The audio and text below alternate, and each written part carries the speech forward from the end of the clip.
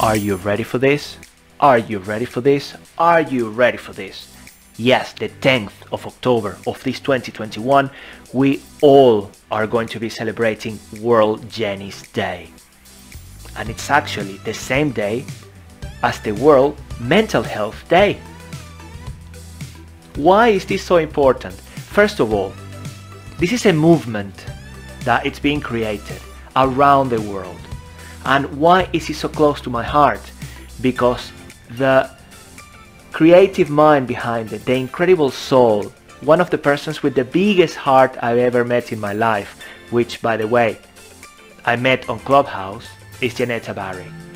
It is a pleasure, Janetta, to be supporting you with this uh, project and as I call it, movement.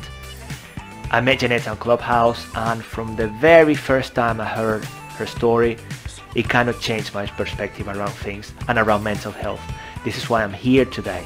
This is why I'm privileged and delighted to be an ambassador for World Jenny's Day. And there is going to be a marathon in Clubhouse, which is going to be running marathon for 24 hours, starting in New Zealand, and it's going to travel the world all the way back to New Zealand.